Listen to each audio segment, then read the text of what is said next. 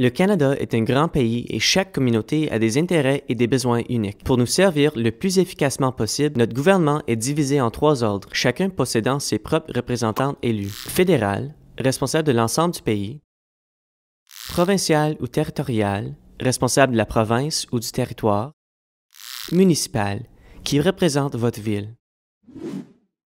Les représentants élus sont chargés de proposer et d'étudier des projets de loi qui, une fois adoptés, deviendront des lois. Ils doivent également rencontrer leurs électeurs afin de discuter de leurs préoccupations et de les conseiller sur les services du gouvernement.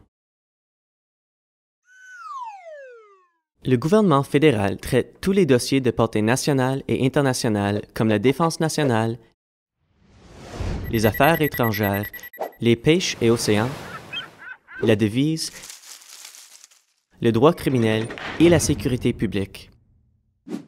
Il est dirigé par le premier ministre qui travaille avec des représentants élus de partout au Canada appelés députés.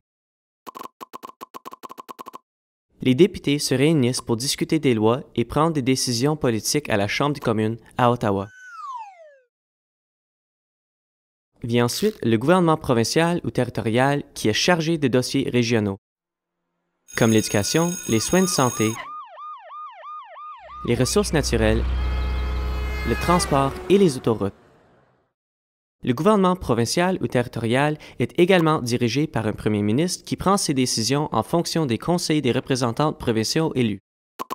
En Ontario, les représentants provinciaux élus sont appelés des députés provinciaux.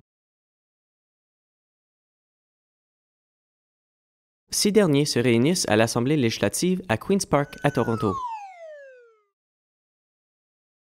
Enfin, il y a les autorités municipales qui représentent les intérêts des villes.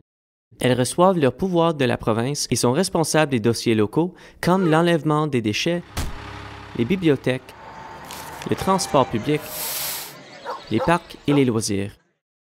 Leur chef est le maire, qui consulte ses conseillers municipaux afin de prendre des décisions.